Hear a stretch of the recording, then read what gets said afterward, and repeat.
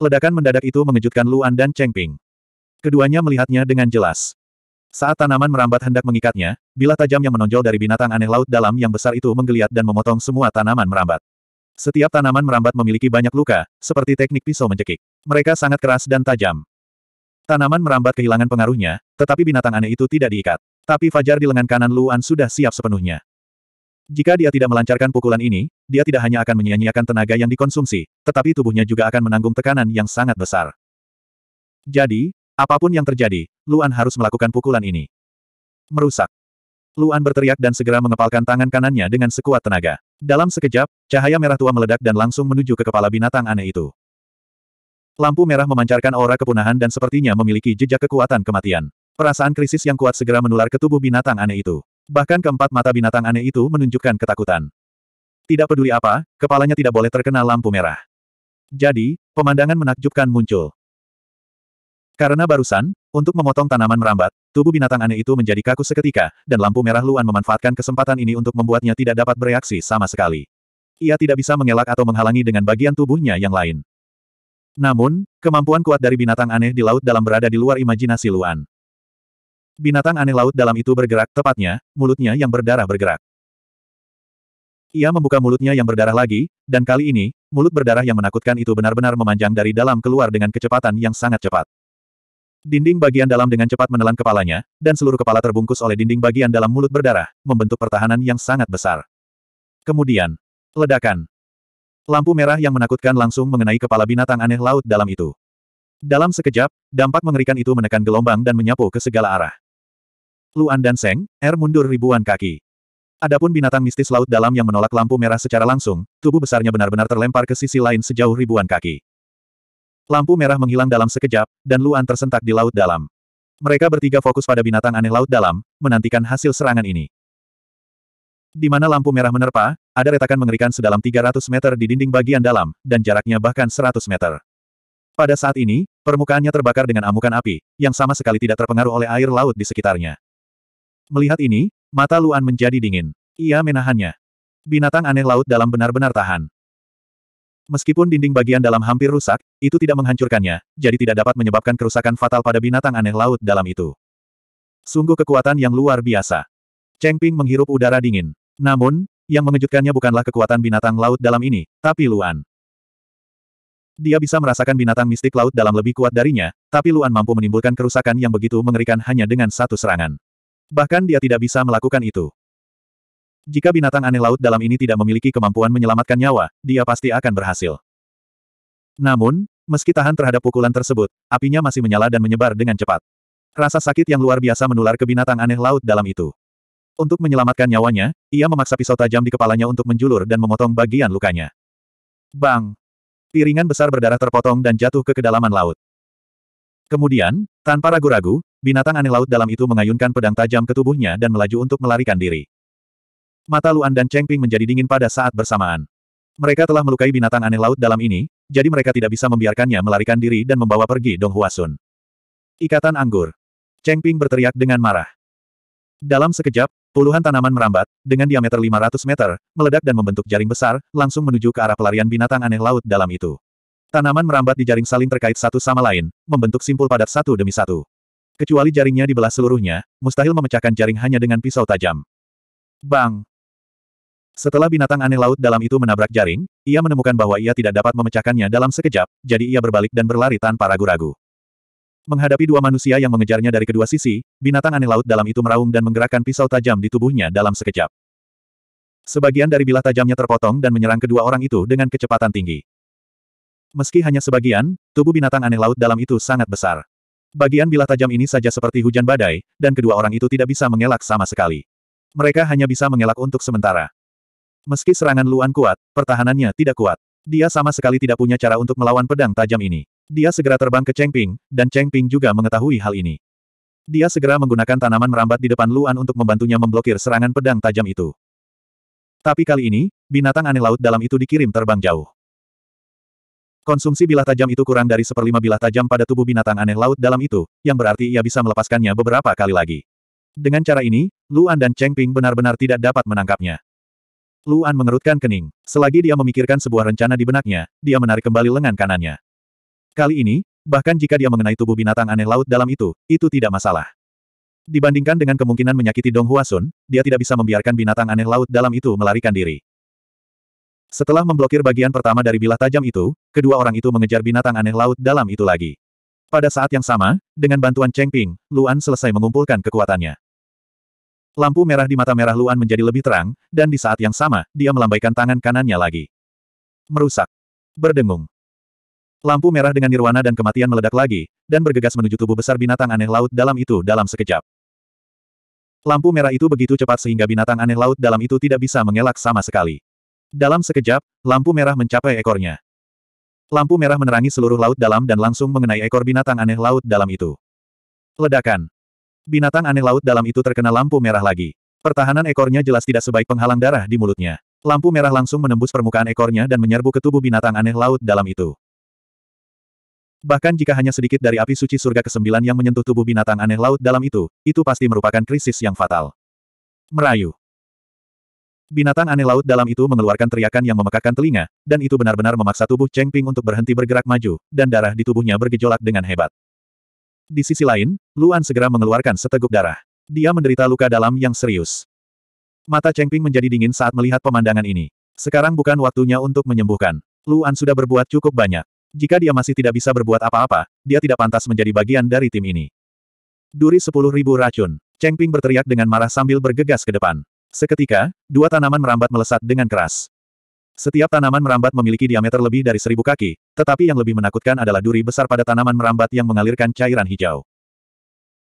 Kecepatan binatang aneh laut dalam itu berkurang drastis ketika ekornya diserang, begitu pula kemampuannya untuk mengatur posisi tubuhnya di dalam tubuhnya. Tidak hanya itu, api suci surga kesembilan menyebar dengan cepat dan membakar organ dalamnya. Rasa sakit yang mengerikan membuatnya kehilangan semua kemampuan untuk melawan, dan bahkan jika ia memiliki kekuatan, ia tidak dapat menggunakannya. Ledakan. Kedua duri besar itu langsung menembus ekor yang telah ditembus Luan, dan langsung menembus tubuh binatang aneh laut dalam itu tanpa mempedulikan api suci surga kesembilan yang terbakar. Duri besar yang tak terhitung jumlahnya langsung memotong organ dalam binatang aneh laut dalam itu menjadi beberapa bagian. Racun yang mengerikan menyebar dari duri besar dan meresap ke dalam tubuh binatang aneh laut dalam, mempercepat kematiannya. Pada saat ini, cahaya kemasan besar tiba-tiba keluar dari tubuh binatang aneh laut dalam, menyebabkan tubuh binatang aneh laut dalam memancarkan jejak cahaya kemasan. Terutama ekornya yang tertusuk, yang memancarkan cahaya menyilaukan. Ke mana pun cahaya kemasan lewat, organ dalam binatang aneh laut dalam itu, yang hampir membusuk, hancur total. Ekor binatang aneh laut dalam itu menjadi lubang angin, dan potongan organ dalam serta daging yang tak terhitung jumlahnya menyembur keluar darinya. Ledakan. Tubuh binatang aneh laut dalam itu terus meronta. Pada saat ini, cahaya kemasan menyilaukan muncul dari ekornya, dan sosok emas muncul di laut dalam. Itu adalah Dong Huasun. Dong Huasun terengah-engah, dan terlihat jelas bahwa dia berada di bawah tekanan yang berat. Namun, dia tidak berhenti. Sebaliknya, dia segera berubah menjadi cahaya keemasan dan bergegas menuju pusat empat mata binatang aneh laut dalam di kepalanya. Duri yang menusuk langit. Ledakan. Cahaya keemasan yang menakutkan langsung menembus kepala binatang aneh laut dalam itu, dan sosok Dong Huasun langsung keluar dari sisi lain. Dalam sekejap, tubuh binatang aneh laut dalam itu berhenti meronta, dan akhirnya berhenti bergerak, dan jatuh ke laut dalam. Binatang aneh tingkat 8, mati. 1922. Setelah membunuh monster laut dalam, mereka berempat tidak lagi tinggal di laut dalam. Sebaliknya, mereka segera pergi dan kembali ke langit. Saat mereka muncul lagi, hari sudah larut malam. Langit penuh bintang dan awan sedikit menyebar. Cahaya bulan menyinari permukaan laut. Meski bulan cerah, namun malam masih gelap. Mereka berempat beruntung. Setelah terbang di udara beberapa saat, mereka menemukan sebuah pulau besar. Dong Huasun memeriksa dan memastikan bahwa itu hanyalah pulau biasa. Kemudian mereka berempat memasuki pulau untuk beristirahat. Setelah pertempuran ini, mereka berempat perlu menyesuaikan diri. Dong Huasun menderita karena penindasan internal terhadap monster laut dalam. Penindasan itu sangat kuat. Jika Dong Huasun tidak menggunakan menara penekan surga untuk menghidupi dirinya sendiri, roda takdirnya yang lain mungkin telah hancur. Penghalang di sekitarnya penuh dengan racun. Konsekuensinya tidak dapat dibayangkan. Selain itu, serangan terakhir menghabiskan banyak kekuatan Dong Huasun. Cheng Ping menghabiskan sedikit energi. Dia hanya menggunakan beberapa gerakan dan menghabiskan kurang dari 20% kekuatannya. Sekarang, dia sedang menyembuhkan Luan. Luan adalah orang yang paling banyak mengonsumsi energi di antara mereka berempat. Hanya menggunakan Breaking Down dua kali menghabiskan hampir 60% kekuatannya. Selain itu, dia dilemahkan oleh Realm of Demon Gods dan menggunakan Deep Ice. Oleh karena itu, dia menghabiskan lebih dari 60% kekuatannya. Tidak hanya itu, Luan juga mengalami luka dalam yang cukup serius. Jeritan berulang kali dari binatang mistik laut dalam telah merusak organ dalam Luan. Untungnya, Luan memiliki teknik kembali ke surga, yang memungkinkannya sembuh dengan cepat. Ditambah dengan kesembuhan Cheng Ping, luka Luan dengan cepat sembuh. Selanjutnya, mereka harus istirahat. Mereka harus menunggu sampai kekuatan semua orang pulih sepenuhnya sebelum mereka melanjutkan bergerak maju. Kalau tidak, itu akan lebih berbahaya. Luan duduk di atas batu. Dia menoleh untuk melihat ke arah Senger, yang menundukkan kepalanya. Dia tidak mengucapkan sepatah kata pun sejak mereka memasuki pulau itu. Melihat Senger, Luan merenung sejenak dan tidak tahu harus berkata apa. Tapi apakah itu dia, Dong Huasun atau Cheng Ping, mereka bertiga tahu dengan jelas bahwa Senger pasti merasa tidak enak. Ya, Senger memang merasa tidak enak. Dan rasa sakit ini datang karena menyalahkan diri sendiri. Sejak mereka memasuki wilayah Laut Utara kedua, apakah itu pertarungan dengan tiga burung di langit atau pertarungan dengan binatang aneh di laut dalam, dia tidak membantu sama sekali. Hal ini membuatnya merasa sangat sedih. Dia telah diselamatkan oleh serikat pekerja dan telah dipersiapkan oleh serikat pekerja untuk mendapatkan kekuatannya saat ini. Dia bahkan dikenal sebagai keturunan ras dewa mistik, dan kedua ketua serikat pekerja memiliki harapan yang tinggi padanya. Dia juga berpikir bahwa dirinya sangat kuat dan telah bekerja keras untuk berkultivasi. Dia merasa bisa berguna di saat kritis. Namun kenyataannya, dia tidak bisa berbuat apa-apa. Dia akan gemetar saat menghadapi pertempuran.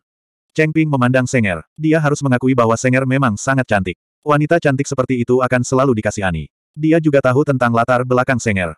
Dia belum pernah dilatih sebagai guru surgawi yang perlu bertarung sejak dia masih muda, jadi dia tidak memiliki pengalaman bertarung yang sebenarnya. Meskipun dia sekarang memiliki kekuatan yang besar, secara mental dia tetap tidak berbeda dari orang biasa. Ini seperti meminta seorang gadis yang telah belajar sejak kecil untuk tiba-tiba mengambil pisau dan pergi ke medan perang untuk membunuh musuh. Menghadapi hidup dan mati, tidak banyak orang yang bisa langsung beradaptasi. Oleh karena itu, wajar jika Seng, Er bereaksi seperti itu. Luan menoleh untuk melihat Cheng Ping. Cheng Ping sedikit terkejut. Dia mengangguk sedikit, bangkit, dan duduk di samping Seng Er.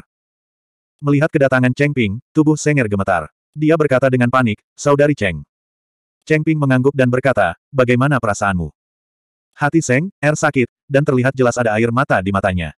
Dia menundukkan kepalanya dan berkata dengan lembut, aku, sangat takut. Ini adalah sifat manusia. Cheng Ping tersenyum dan berkata, kami juga takut. Akan menjadi tidak normal jika tidak. Hanya saja kita sudah cukup berpengalaman dan perlahan beradaptasi dengan rasa takut. Kita bisa menekannya. Jangan khawatir. Setelah misi ini, kamu pasti akan menjadi seorang pemberani. Tubuh Senger sedikit gemetar. Dia memandang Cheng Ping dan berkata dengan suara gemetar, benarkah? Tentu saja. Cheng Ping tersenyum dan menepuk punggung Senger. Dia berkata, jangan khawatir. Pelan-pelan saja. Lain kali Anda menghadapi pertempuran, mulailah dengan berlatih. Tidak peduli seberapa kerasnya kamu berjuang, itu tidak masalah. Anda tidak perlu khawatir untuk menarik perhatian binatang aneh. Kami akan melindungimu. Mendengar kata-kata Cheng Ping, Senger mengangguk penuh semangat dan berkata, saya pasti akan bertarung lain kali. Senyum Cheng Ping semakin lebar. Dia mengobrol dengan Seng, Er sebentar sebelum pergi. Faktanya, Seng Er paling khawatir dia akan dibenci oleh anggota tim lainnya karena kelemahannya. Dia merasa sangat senang karena Cheng Ping telah menghiburnya. Cheng Ping kembali ke samping dan duduk. Setelah beberapa napas, Dong Huasun berjalan ke sisi Cheng Ping dan duduk di atas batu. Dia berkata dengan lembut, aku tidak menyangka kamu begitu pandai menghibur orang.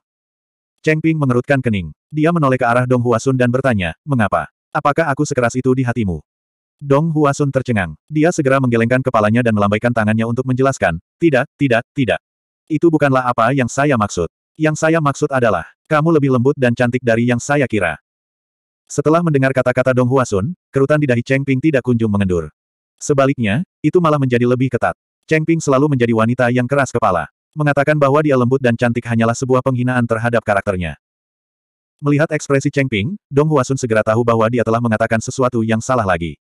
Dia segera memasang wajah muram dan tidak tahu harus berkata apa. Tiba-tiba, dia memikirkan sesuatu. Dia segera menoleh untuk melihat Luan dan meminta bantuan Luan. Pemimpinnya memiliki begitu banyak wanita. Dia pasti punya banyak cara untuk menghadapinya.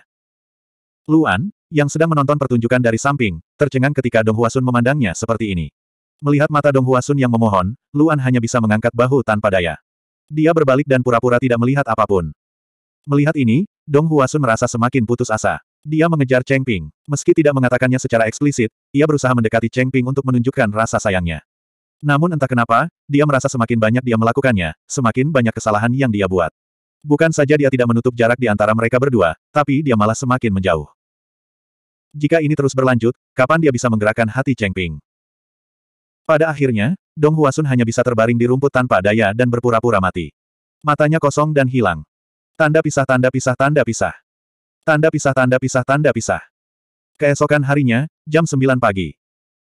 Awan dan kabut pada dasarnya telah menyebar, hanya menyisakan beberapa awan sepi di langit yang belum menyebar.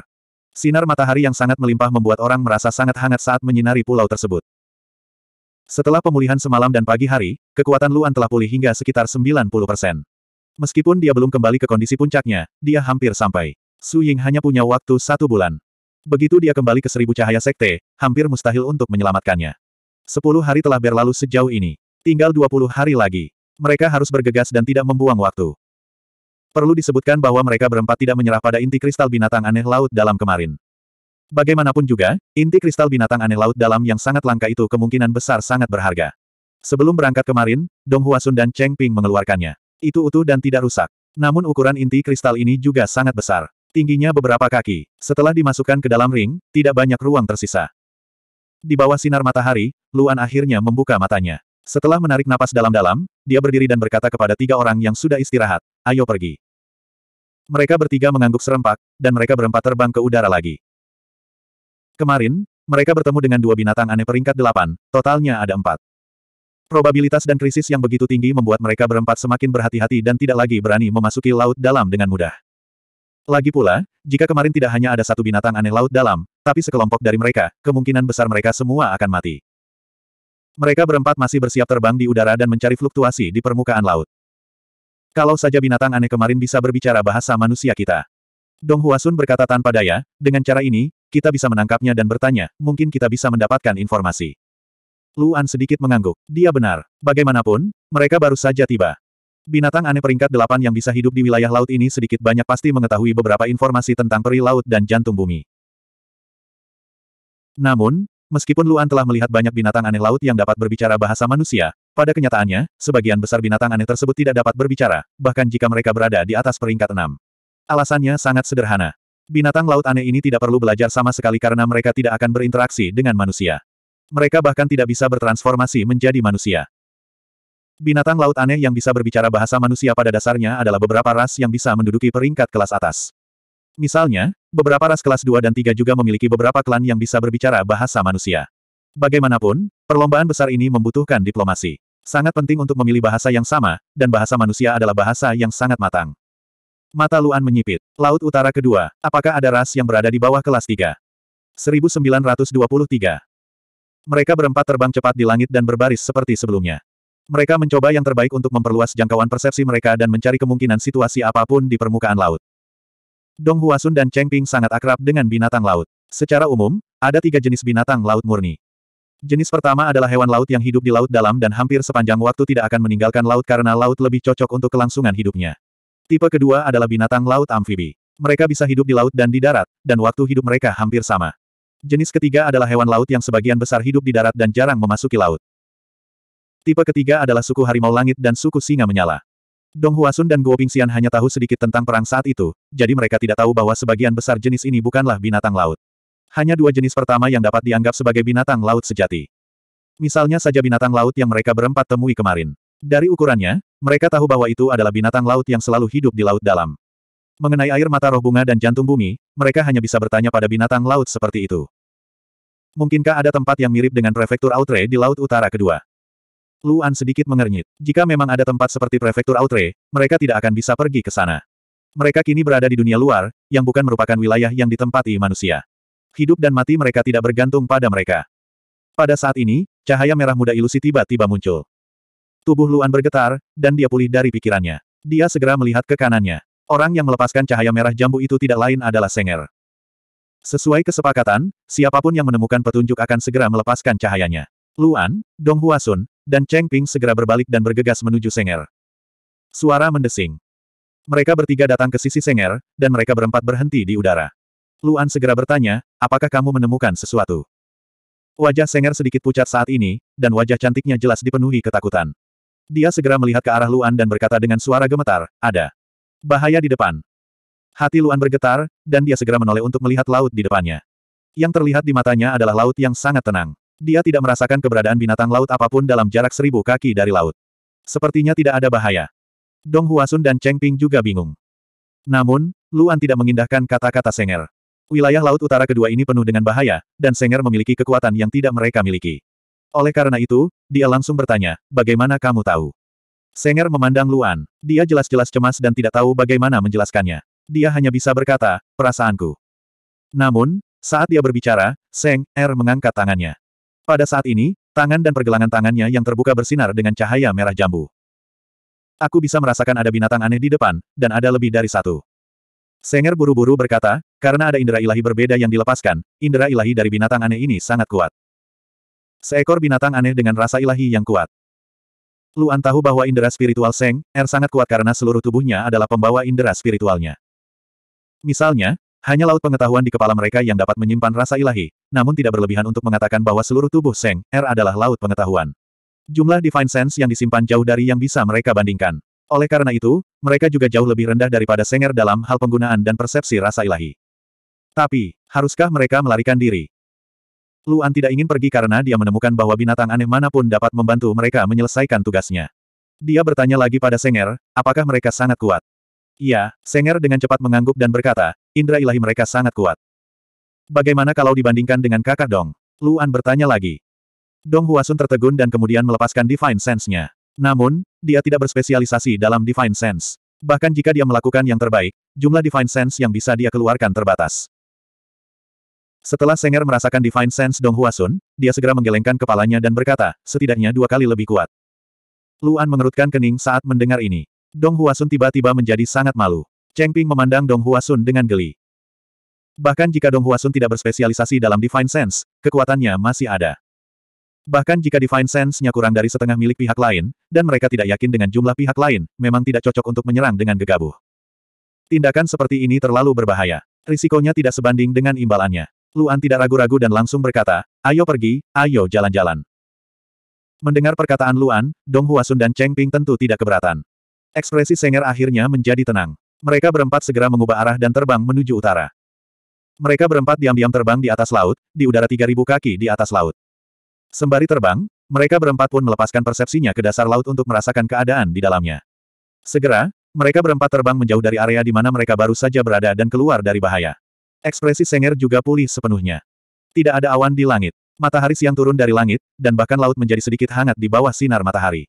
Punggung mereka berempat juga terasa hangat karena sinar matahari.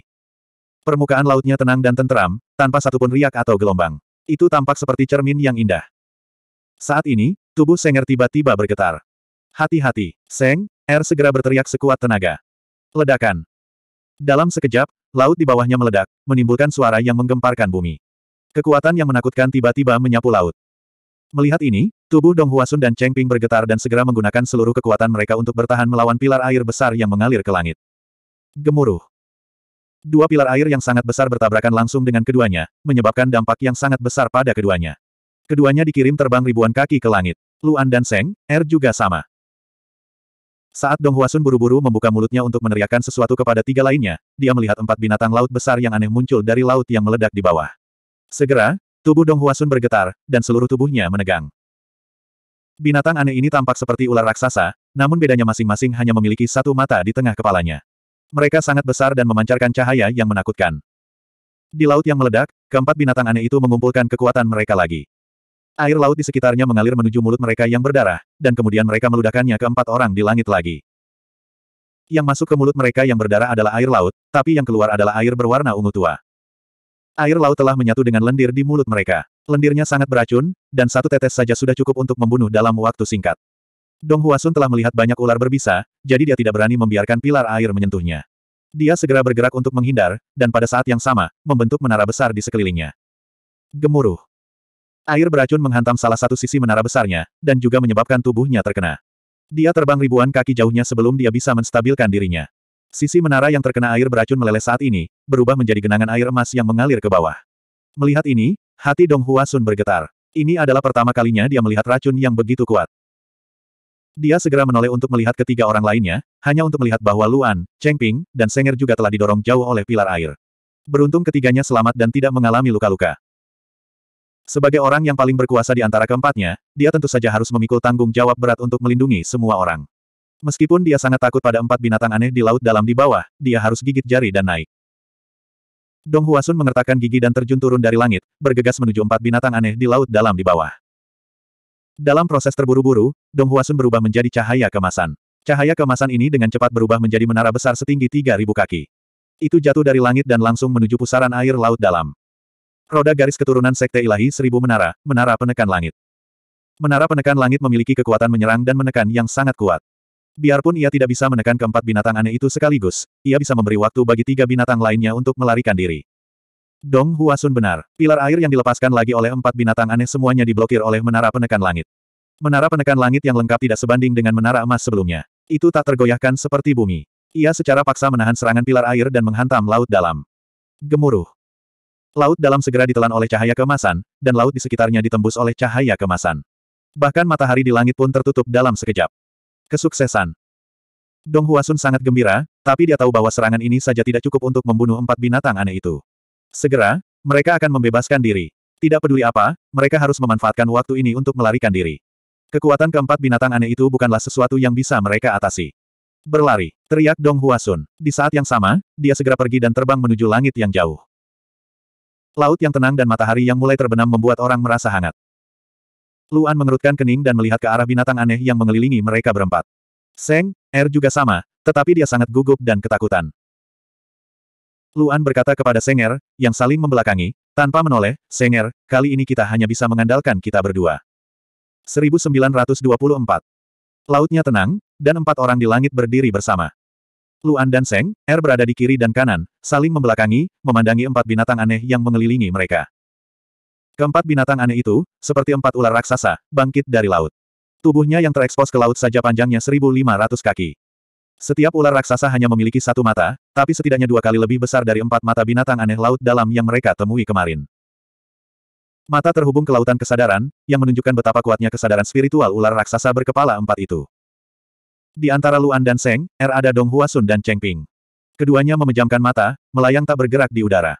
Iya, keduanya telah memasuki ilusi. Dari semua pengalaman yang baru saja dialami Dong Huasun dan Cheng Ping, hanya kata-kata, hati-hati, dari Senger yang benar. Setelah itu, mereka sepenuhnya memasuki ilusi. Faktanya, kata-kata Senger telah memperingatkan mereka. Jika itu adalah serangan biasa, maka Dong Huasun dan Cheng Ping pasti akan menemukannya lebih cepat daripada Senger.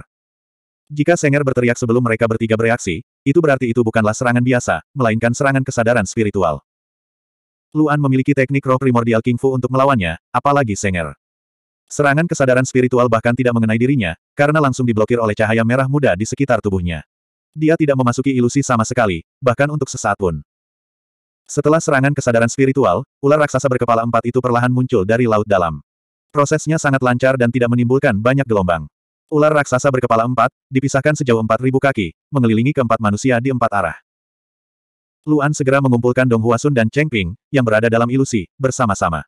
Untungnya, mereka bisa melayang di udara sendiri. Tetapi pada saat ini, mereka telah benar-benar kehilangan kemampuan bertahannya, dan serangan apa pun dapat membunuh mereka.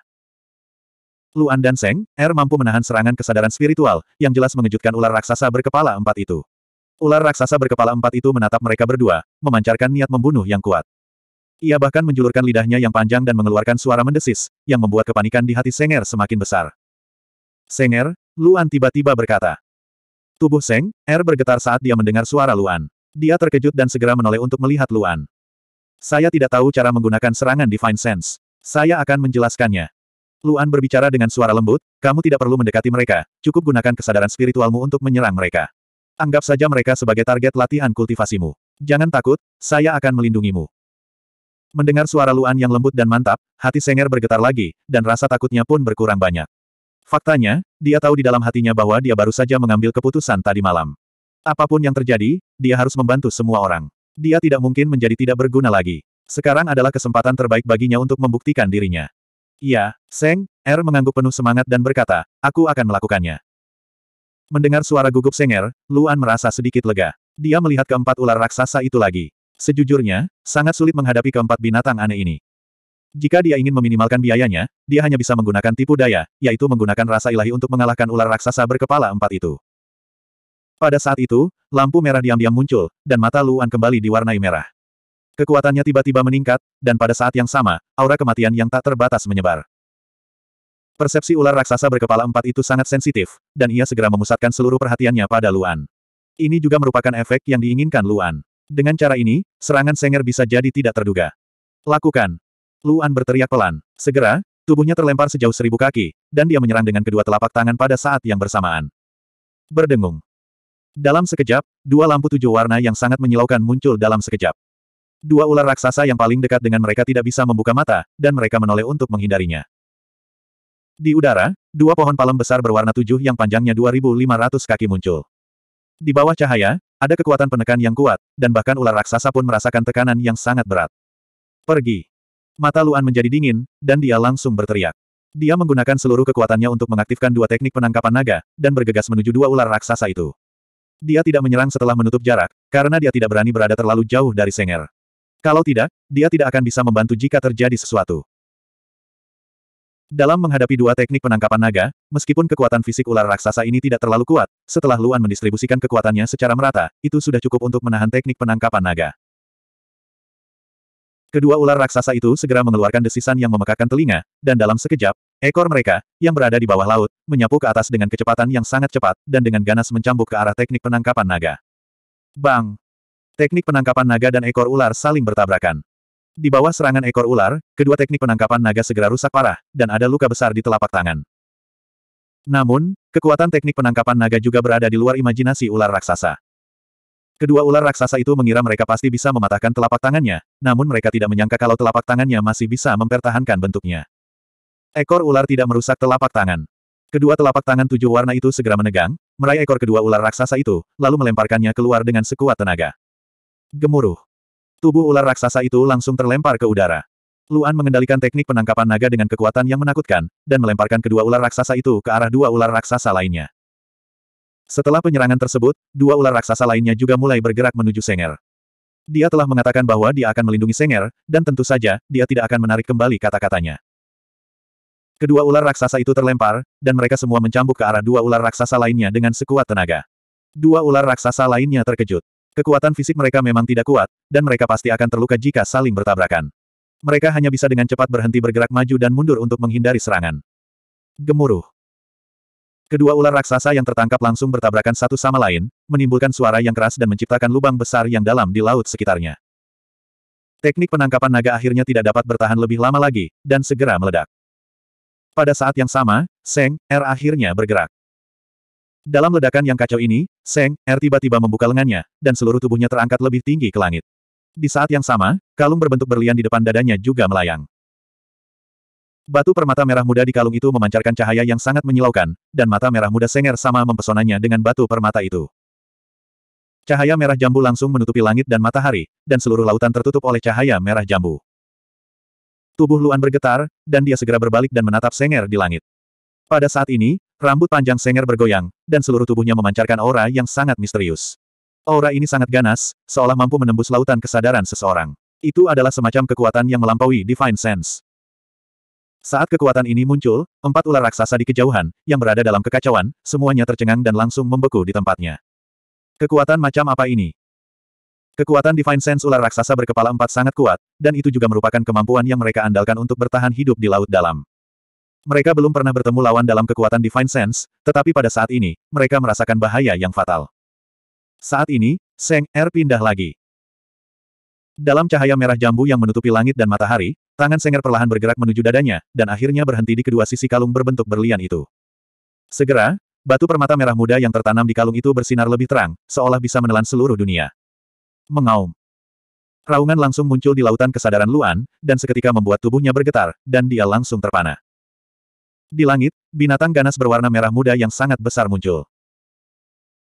Binatang ganas ini tingginya 3.000 kaki, dan memiliki tubuh binatang buas dan wajah binatang buas, tetapi di tangannya, ia memegang perisai dan tombak panjang.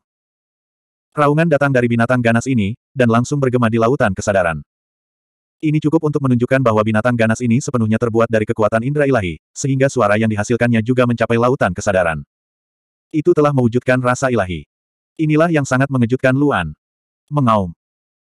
Binatang buas yang menakutkan di langit meraung lagi, dan kemudian tiba-tiba bergegas menuju ular raksasa berkepala empat itu.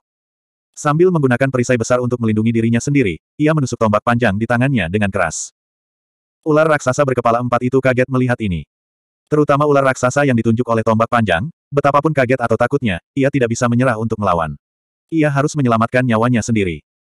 Ia segera membuka mulutnya yang besar dan berdarah, dan dalam sekejap, racun fatal yang tak terhitung jumlahnya langsung menuju ke arah binatang ganas yang turun dari langit. Ledakan. Keduanya sangat cepat, dan karena jaraknya terlalu dekat, racun dan binatang ganas tiba di depan mereka dalam sekejap. Suara mendesing. Apa yang membuat mata Luan melebar dalam sekejap adalah racun itu benar-benar menembus perisai binatang ganas itu. Ia menembus tubuh binatang ganas. Ia langsung menembus binatang ganas dan melesat langsung ke langit. Apakah binatang ganas itu terbunuh? Tidak. Tubuh merah jambu binatang ganas itu masih utuh, dan tidak mengalami kerusakan apa pun akibat racun itu sama sekali. Sebaliknya, ia meraung lebih keras, dan lengan kanannya melambai dengan kuat, dan tombak panjang itu langsung tiba di depan mata ular raksasa itu. Mata besar ular raksasa itu dipenuhi dengan kengerian, dan ia memandang dengan tak percaya saat ujung tombak panjang itu tiba di depan matanya. Ledakan. Ledakan mengejutkan terdengar, dan bergema di lautan kesadaran Luan. 1925. Gemuruh. Terjadi ledakan yang menggemparkan bumi. Ini adalah gemetarnya lautan kesadaran. Tubuh Luan bergetar hebat, tapi matanya yang terkejut tidak pernah meninggalkan pemandangan di kejauhan. Pada saat ini, tombak panjang di tangan kanan binatang raksasa itu telah menembus seluruh mata ular raksasa dan menembus kepalanya sepenuhnya. Meskipun kepala ular raksasa itu tampaknya tidak terluka sama sekali, dan bahkan tidak ada bekas darah, setelah tombak menembus kepalanya, pupil ular raksasa itu dengan cepat membesar, dan seluruh tubuhnya menjadi tidak bergerak, membeku sepenuhnya. Di tempat. Dalam sekejap, ular raksasa itu sepertinya telah kehilangan seluruh kekuatannya dan langsung roboh, menabrak kedalaman laut. Luan melihat pemandangan ini dan tersentak. Serangan rasa ilahi. Ini adalah serangan indera ketuhanan yang nyata. Luan benar-benar punya alasan untuk percaya bahwa tombak panjang tadi adalah serangan indera ketuhanan, dan tombak ini kemungkinan besar akan secara langsung menghancurkan lautan kesadaran ular raksasa, dan bahkan sumber lautan kesadaran ular raksasa itu pun bisa dihancurkan.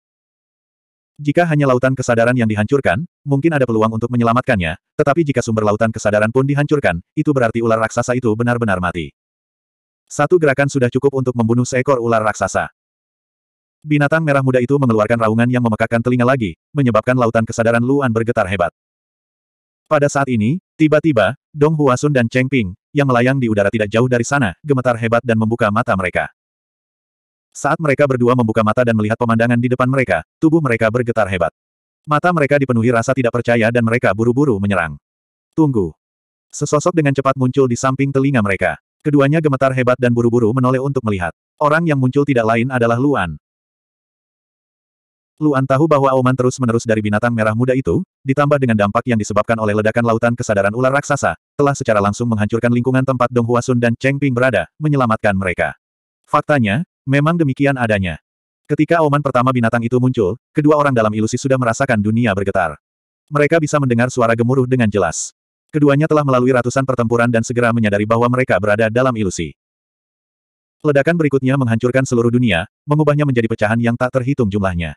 Persepsi sebenarnya yang dikaburkan oleh ilusi terungkap. Raungan terakhir benar-benar menghancurkan ilusi, menyebabkan keduanya membuka mata. Apa yang mereka lihat adalah ular berkepala empat dan direbis berwarna merah muda yang sangat besar. Karena direbis merah muda adalah yang paling dekat dengan mereka, mereka berdua secara tidak sadar ingin menyerangnya, tapi mereka dihentikan oleh Luan. Binatang ini adalah jurus Senger. Luan berkata cepat, dia telah membunuh seekor ular raksasa. Ayo kita bantu dia. Dong Huasun dan Cheng Ping bergidik dan langsung menatap Senger di langit jauh. Saat ini, seluruh dunia bermandikan cahaya merah jambu. Sebagai pusat cahaya merah jambu, Seng, Er seperti dewa yang menguasai seluruh dunia. Tak satu pun dari mereka menyangka kekuatan sejati Seng, Er begitu kuat. Masing-masing ular raksasa ini sangat sulit untuk dihadapi. Bahkan jika mereka ingin membunuh mereka, itu akan membutuhkan banyak waktu dan tenaga. Mereka tidak menyangka Senger mampu membunuh salah satu dari empat ular itu sendirian. Mereka tidak bisa membiarkan Seng, Er menghadapi mereka sendirian. Segera, mereka bertiga bergegas keluar dan bergegas menuju sisa ular raksasa berkepala tiga. Ketika ular raksasa berkepala tiga melihat bahwa kedua manusia telah melarikan diri dari ilusi, ia langsung ketakutan. Mereka sudah dirugikan dalam hal jumlah. Ditambah dengan pencegahan dari direbis yang menakutkan ini, mereka tidak berani melanjutkan pertarungan. Segera, ular raksasa berkepala tiga itu berbalik dan berlari, bergegas menuju dasar laut. Melihat ini, mata Luan menjadi dingin. Dia segera berteriak, tinggalkan setidaknya satu dari mereka. Tangkap hidup-hidup. Mendengar hal tersebut, Dong Huasun dan Cheng Ping segera menggunakan kekuatannya masing-masing untuk menekan dan mengikat ular raksasa tersebut. Namun, ular raksasa itu sangat cepat. Ditambah dengan fakta bahwa ada jarak di antara mereka, sangat kecil kemungkinannya mereka berdua bisa menangkap ular raksasa. Saat ini, Seng Er menyerang lagi. Seng, Er, yang berada di langit, tiba-tiba membanting telapak tangannya ke depan. Dalam sekejap, direbis merah muda sepanjang 3000 kaki itu meraung keras dan bergegas menuju ular raksasa terdekat. Karena ingin menangkapnya hidup-hidup, direbis tidak menggunakan tombak panjangnya lagi. Sebaliknya, ia mengayunkan perisai di tangan kirinya dan membantingnya ke arah kepala ular raksasa itu. Ketika ular raksasa itu melihat direbis berlari ke arahnya, ia sangat ketakutan hingga seluruh tubuhnya gemetar. Namun, keinginan naluriahnya untuk bertahan hidup membuatnya langsung bereaksi. Ternyata kecerdasan binatang mistik tingkat delapan cukup menakutkan. Dalam waktu sesingkat itu, ia telah memikirkan cara untuk menghadapi direbis. Direbis ini memiliki kekuatan Divine Sense. Untuk menghadapinya, seseorang harus menggunakan kekuatan Divine Sense. Ular raksasa itu segera mengeluarkan jeritan yang memekakkan telinga. Kekuatan Divine Sense yang kuat langsung keluar dari mata tunggalnya yang besar. Kekuatan tak kasat mata mengalir menuju direbis. Bang! Divine Sense yang tak terlihat langsung mengenai perisai direbis. Seperti yang diharapkan, terjadi ledakan keras. Bahkan tubuh direbis pun berhenti. Namun, itu saja. Kekuatan direbis tak tertandingi. Itu secara langsung menekan kekuatan Divine Sense dari ular raksasa dengan perisainya. Berat tubuhnya yang mengerikan dengan cepat menutup jarak antara mereka dan ular raksasa itu dalam sekejap. Bang! Direbis tiba-tiba mengayunkan perisainya dan menghantam kepala ular raksasa itu dengan keras. Tubuh ular raksasa itu bergetar hebat. Matanya tiba-tiba kehilangan sebagian besar cahayanya. Tubuhnya bergoyang dan kehilangan sebagian besar kekuatannya. Ketika dua ular raksasa lainnya melihat temannya dalam keadaan seperti itu, mereka tidak berani membantu sama sekali. Jika tidak, mereka juga akan ditangkap oleh tiga manusia yang tersisa. Memanfaatkan waktu ketika rekannya ditangkap, mereka dengan cepat melarikan diri ke kedalaman laut dan akhirnya menghilang tanpa jejak. Ular raksasa yang terkena perisai itu jatuh ke pusaran air laut dalam. Namun tiba-tiba muncul beberapa tanaman merambat berukuran besar dan langsung mengikat tubuh ular raksasa tersebut. Ini termasuk ular raksasa yang tertusuk tombak di rebis. Krisis telah teratasi sepenuhnya. Ketiga orang di udara menghela napas lega dan menoleh untuk melihat Senger di langit. Mereka melihat tangan Senger perlahan-lahan turun. Liontin berbentuk berlian yang melayang di depan dadanya juga berangsur-angsur kembali ke dadanya. Cahaya merah muda menyilaukan yang terpancar dari tubuhnya perlahan menghilang. Direbis yang membentang di langit juga berangsur-angsur menghilang, melepaskan sinar matahari yang terhalang di langit. Langit dan bumi kembali normal, kecuali laut yang masih bergejolak tanpa henti. Luan dan dua lainnya dengan cepat datang ke depan Senger. Luan segera bertanya, bagaimana kabarnya? Ada sedikit keringat di wajah cantik Senger. Namun, dia dengan lembut menggelengkan kepalanya dan dengan cepat bertanya, apakah saya membantu? Luan terkejut. Lalu, dia tersenyum dan berkata, tentu saja, kali ini semua berkatmu. Iya, Dong Huasun mau tidak mau berkata, saya tidak menyangka Nona Senger begitu kuat. Saya buta sebelumnya. Jika bukan karena kamu, kita berdua masih akan terjebak dalam ilusi, kata Cheng Ping sambil tersenyum. Mendengar perkataan ketiga orang itu, wajah Senger menampakkan senyuman yang sangat bahagia. Untuk dapat menerima penegasan dan pujian semua orang, sedikit kelelahan ini bukanlah apa-apa. Kita sebaiknya tidak tinggal lama di sini, kata Luan. Kalau-kalau mereka meminta bantuan, ayo tinggalkan tempat ini dulu. Ketiga orang itu mengangguk dan segera pergi dengan membawa dua tubuh ular raksasa itu. Tanda pisah tanda pisah tanda pisah. Tanda pisah tanda pisah. Satu jam kemudian, di sebuah pulau. Mereka berempat mencari selama setengah jam sebelum menemukan pulau sekecil itu. Faktanya, sangat beruntung bisa menemukan sebuah pulau di laut utara kedua dalam waktu setengah jam. Bahkan jika mereka tidak dapat menemukannya dalam sehari, itu normal. Setelah tiba di pulau itu, Luan membiarkan Senger, yang merupakan kekuatan utama pertempuran ini, beristirahat terlebih dahulu. Mereka bertiga, yang tidak menghabiskan banyak tenaga, menghadapi akibatnya. Mereka bertiga pertama-tama memeriksa ular raksasa yang telah tertusuk tombak panjang dan menemukan bahwa laut pengetahuan ular raksasa itu telah hancur total. Luan berusaha sekuat tenaga untuk menemukan sumber laut pengetahuan, tetapi dia tidak dapat menemukannya. Tidak ada yang menyimpannya sama sekali. Mereka tidak bisa menyia-nyiakan material. Dong Huasun yang memiliki atribut logam membedah ular raksasa tersebut dan mengambil semua barang berharga yang ada di tubuh ular raksasa tersebut. Tentu saja yang terpenting adalah inti kristal dan kantong empedu ular. Saat Dong Huasun sedang membedah, Luan dan Cheng Ping sedang melihat ular raksasa kedua. Setelah Luan memeriksanya, dia menemukan bahwa meskipun laut pengetahuan ular raksasa itu rusak parah, namun tidak rusak. Tidak butuh waktu lama untuk bangun. Ia akan bangun dalam satu jam. Luan menoleh untuk melihat ke arah Cheng Ping dan berkata, bisakah kamu mengendalikannya? Tuan Aliansi, Jangan khawatir. Cheng Ping segera mengangguk dan berkata, dengan tanaman merambatku yang mengikatnya, dan racun di tanaman merambat telah meresap seluruhnya ke dalam tubuhnya, bahkan jika ia bangun, ia tidak akan bisa bergerak. Luan mengangguk sedikit dan menatap ular raksasa itu lagi. Ia berharap ular raksasa ini dapat memberikan informasi yang berguna baginya. 1926 Setelah satu jam, ular raksasa itu perlahan-lahan terbangun dan membuka matanya. Ketika ia membuka matanya dan melihat empat manusia berdiri di depannya, ia sangat ketakutan hingga tubuhnya yang besar bergetar, seperti bagaimana manusia gemetar ketakutan. Apalagi saat melihat Senger, wanita cantik inilah yang paling menakutkan di antara mereka berempat. Ia dengan panik memutar tubuhnya dan mencoba mundur, hanya untuk menyadari bahwa seluruh tubuhnya lumpuh. Terlebih lagi, ia diikat oleh lapisan tanaman merambat yang tebal dan tidak bisa bergerak sama sekali. Setelah satu jam istirahat, Seng, Er telah memulihkan sebagian besar energinya. Faktanya, sebagian besar energinya bukan berasal dari dirinya sendiri, melainkan dari batu permata merah muda di kalung berbentuk berliannya. Luan tidak mengetahui asal-muasal batu permata ini dan kejayaannya di masa lalu, tapi dari sudut pandang Yaoer, batu itu pasti mirip dengan staf abadi mantra tertinggi di tangannya. Bagaimanapun, klan Dewa Mistik dulunya adalah salah satu dari empat klan utama umat manusia, berbagi kejayaan dengan Sengoku dan klan Bintang menyebar. Wajar jika mereka memiliki harta yang sangat kuat. Cheng Ping mengendalikan racunnya dan tidak membiarkannya masuk ke kepala ular raksasa itu. Makanya, ular raksasa itu masih bisa berbicara. Luan memandang ular raksasa itu dan berkata langsung, tahukah kamu tentang roh bunga langit laut dan jantung bumi? Hai. Ular raksasa itu berusaha sekuat tenaga untuk membuka mulutnya, namun hanya bisa mengeluarkan suara mendesis. Luan mengerutkan kening dan menoleh ke Cheng Ping, berkata, ular raksasa ini tidak bisa berbicara dalam bahasa kita. Tidak ada gunanya membiarkannya tetap hidup. Bunuh dia.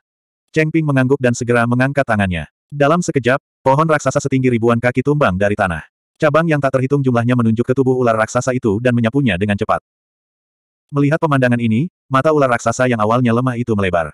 Ia dengan cepat memutar tubuhnya dan mengeluarkan suara. Aku tahu. Suara keras terdengar, menyebabkan semua cabang yang menyerang segera berhenti. Luan berbalik dan memandang ular raksasa itu dengan sedikit terkejut. Ular selalu cerdas dan hidup berkelompok. Mudah bagi mereka untuk membentuk suku. Benar saja, ular raksasa ini bisa berbicara bahasa manusia. Luan memandang ular raksasa itu dan berkata dengan tenang, saya tidak suka mengangkat kepala untuk berbicara. Tubuh ular raksasa itu bergetar dan segera mulai terdistorsi. Meski dilumpuhkan oleh racun, tubuhnya masih bisa mengecil dan akhirnya berubah wujud menjadi manusia. Setelah menjelma menjadi manusia, tubuhnya hanya bisa tergeletak lemas di tanah. Ia masih tidak bisa bergerak karena racunnya. Jika kamu memberitahuku di mana roh bunga langit samudera atau jantung bumi berada, aku tidak akan membunuhmu, dan aku bahkan akan membiarkanmu pergi dengan selamat. Jika kamu berani berbohong padaku, aku akan membuatmu berharap kamu mati. Mendengarkan ancaman tenang manusia ini, meski tidak ada kekuatan yang kuat dalam perkataannya, semakin tenang perkataannya, semakin terasa pasti. Jika melakukan kesalahan pasti akan mati. Tidak ada ruang untuk berdiskusi. Aku tidak tahu di mana peri kelautan dan jantung bumi berada, kata ular raksasa. Dong Huasun sangat marah saat mendengar itu. Kamu berbohong. Ular raksasa itu sangat ketakutan hingga tubuhnya gemetar. Ia segera melanjutkan, tetapi saya tahu di mana menemukan informasi tentang roh bunga langit samudera dan jantung bumi. Luan menyipitkan matanya dan bertanya, di mana? Negara pengumpulan roh. Ular raksasa itu dengan cepat menjawab, itu adalah negara bagian Outre yang kalian bicarakan. Setelah mendengar ini, ekspresi Luan menjadi lebih bermartabat saat dia bertanya, apakah di prefektur ganjil di Laut Utara kedua? Itu benar, kata ular raksasa itu segera. Laut Utara kedua sepi. Bahkan jika ada negara bagian Outre, tidak akan ada manusia. Jika kita berempat pergi ke sana, bukankah kita akan menjadi sasaran kritik publik? Suara Luan menjadi dingin saat niat membunuh muncul di matanya. Dong Huasun dan dua lainnya juga sama. Mereka memandang ular raksasa itu dengan tatapan tidak bersahabat. Ular raksasa itu ingin mereka pergi ke negara pengumpulan roh. Jelas sekali ia berusaha menyakiti mereka. Ular raksasa itu sangat ketakutan hingga wajahnya menjadi pucat. Ia dengan cepat berkata, saya bisa mengantarmu ke sana. Sudah kubilang padamu bahwa kamu adalah temanku. Di kota negara pengumpulan roh, semua orang berwujud manusia. Siapa yang tahu apakah Anda manusia atau bukan? Setiap ras memiliki aura yang berbeda-beda. Luan memandang ular raksasa itu dan berkata dengan dingin, sepertinya kamu tidak ingin hidup lagi. Saat dia berbicara, Luan memandang Dong Huasun. Dong Huasun mengerti dan segera melambaikan tangan kanannya. Cahaya keemasan langsung menembus kaki kanan ular raksasa itu. Ah! Wajah ular raksasa itu tiba-tiba berubah ketika darah mengucur dari kaki kanannya. Ia menutupi kaki kanannya yang kesakitan dan wajahnya dipenuhi keringat dingin. Ini adalah kesempatan terakhir Anda. Luan memandang ular raksasa itu dengan dingin dan berkata, ada banyak sekali binatang aneh di laut. Jika kamu tidak mengatakan yang sebenarnya, kamu tidak berharga bagiku. Ular raksasa itu memandang Luan dengan mata pedih. Ia tahu bahwa pemuda ini adalah pemimpin dari empat orang itu, dan dia terlihat lebih berdarah dingin daripada itu. Ia akhirnya menghentikan semua rencananya dan berkata dengan gigi terkatup, kantung empedu ular. Luan mengerutkan kening dan bertanya, apa maksudmu? Kamu membunuh temanku. Ular raksasa itu memandang ke arah mayat besar yang belum dibuang dan berkata, selama kamu menaruh sepotong kecil kantong empedunya di tubuhmu, kamu akan bisa memancarkan aura ular. Kami, ular, hampir tidak dapat dibedakan dari manusia setelah kami bertransformasi. Dengan cara ini, tidak ada seorang pun yang dapat mengetahui bahwa Anda adalah manusia. Mendengar perkataan ular raksasa itu, Luan memandang Dong Huasun. Kantong empedu ular raksasa itu berada di dalam cincin Dong Huasun. Lagi pula, cincinnya tidak bisa lagi menampungnya. Dong Huasun mengerti dan langsung mengeluarkan kantong empedu ular itu. Dia memotong sepotong seukuran telapak tangan dari kantong empedu yang berbentuk gunung dan bertanya kepada ular raksasa itu, apakah ini cukup besar? Terlalu banyak, kata ular raksasa itu. Ukuran ujung jari saja sudah cukup. Kalau terlalu tebal akan menimbulkan kecurigaan. Dong Huasun kembali memotong kantong empedu ular di tangannya. Setiap bagian hanya seukuran ujung jari. Dia bertanya, bagaimana dengan ini? Tepat sekali, kata ular raksasa itu. Dong Huasun mengangguk dan segera memberikan tiga kantong empedu ular lainnya kepada Luan, Cheng Ping, dan Senger. Mereka bertiga memasukkan kantong empedu ular itu ke dalam saku pinggangnya. Bagaimana kita bisa mencapai negara pengumpulan roh? Tanya Luan. Aku bisa membukakan portal teleportasi untukmu, kata ular raksasa itu. Luan sedikit mengernyit. Tidak sulit untuk membuka portal teleportasi, tapi siapa yang bisa menjamin apa yang ada di balik portal teleportasi? Apakah itu negara pengumpulan roh atau tempat ular hidup berkelompok? Bagaimana jika kita tidak menggunakan portal teleportasi? Tanya Luan lagi. Jauh sekali dari sini, kata ular raksasa itu. Ular raksasa itu berkata, bahkan jika kamu terbang dengan kecepatan penuh dan tidak menemui masalah apa pun di perjalanan, itu akan memakan waktu setidaknya 10 hari. Luan semakin mengernyit. Ia merasa ular raksasa itu tidak berbohong. Sepuluh hari terlalu lama bagi mereka. Tinggal sembilan belas hari lagi. Apakah mereka akan menemui masalah dalam perjalanan bukanlah sesuatu yang bisa mereka putuskan. Apakah mereka bisa mendapatkan berita setelah mencapai negara pengumpulan roh dan menemukan harta karun itu akan membutuhkan waktu. Sepertinya mereka benar-benar harus melalui portal teleportasi. Luan menoleh untuk melihat ke arah Cheng Ping dan berkata, aku serahkan padamu. Cheng Ping secara alami tahu apa yang dimaksud ketua. Dia berjalan ke depan dan menamparkan ular raksasa itu ke udara. Bang! Tubuh ular raksasa itu mengeluarkan suara teredam. Seluruh tubuhnya tiba-tiba tergeletak di tanah dengan ekspresi menyakitkan di wajahnya. Ini racunku. Ini racun yang hanya bisa didetoksifikasi olehku. Jika Anda tidak meminum penawarnya dalam 10 menit, Anda pasti akan mati. Cheng Ping berkata dengan dingin, buka portal teleportasi terlebih dahulu. Jika tidak ada masalah, kami akan kembali dan memberikan penawarnya. Tentu saja, Anda juga bisa mencoba melihat apakah racun di tubuh Anda lebih kuat dari racun saya. Wajah ular raksasa itu menjadi pucat. Ia memang memiliki racun yang kuat di tubuhnya, tapi bukan berarti ia kebal terhadap racun lain. Ia buru-buru bangkit dari tanah, menahan rasa sakit, dan dengan cepat membuat portal teleportasi. Ketua, saya akan pergi dan melihat dulu, Cheng Ping memandang Luan dan berkata, jika tidak ada masalah, saya akan kembali dan kita pergi bersama. Luan mengangguk dan berkata, oke. Okay. Hati Dong Huasun menegang saat mendengar ini. Dia buru-buru berjalan ke sisi Cheng Ping dan berkata, aku ikut denganmu. Cheng Ping menoleh ke arah Dong Huasun dengan tatapan bingung di matanya. Luan tersenyum saat melihat ini. Dia tidak tahu apakah sisi lain dari portal teleportasi masih hidup atau mati. Dong Huasun bersedia mengambil risiko dengan Cheng Ping, yang cukup untuk menunjukkan persahabatannya. Cheng Ping tidak menolak dan memasuki portal teleportasi bersama Dong Huasun. Segera, portal teleportasi ditutup. Luan dan Seng, Er menunggu di tempat mereka berada. Luan terus melihat ke tempat portal teleportasi menghilang. Matanya sedikit menyipit, dan dia juga memperhatikan setiap gerakan ular raksasa itu. Satu nafas. Dua nafas. Setelah 20 napas, portal teleportasi berwarna hijau tua tiba-tiba muncul. Dong Huasun dan Cheng Ping segera keluar dari sana. Ketua, Cheng Ping menarik napas dalam-dalam dan berkata dengan cepat, ini memang sebuah kota. 1927 Setelah mendengar kata-kata Cheng Ping, Luan merasa lega. Saya tidak berbohong. Ular raksasa di tanah dengan cepat berkata, bisakah kamu melepaskan aku sekarang? Luan menoleh untuk melihat ular raksasa itu, dan tiga orang di sampingnya mengerutkan kening. Pemimpin aliansi, Kata Dong Huasun dengan suara rendah. Luan sedikit mengangguk. Dia tahu bahwa demi alasan keamanan, ular raksasa itu tidak bisa dibiarkan hidup. Jika tidak, jika ia melarikan diri, ia mungkin akan segera kembali ke negara pengumpulan roh dan mengungkap keberadaan mereka. Kemudian, ia akan menyerang mereka. Bunuh itu. Cheng Ping juga membujuk, tidak perlu membicarakan moralitas dengan binatang aneh. Luan memandang Cheng Ping dan semakin mengernyit, tapi dia tidak mengatakan apa-apa.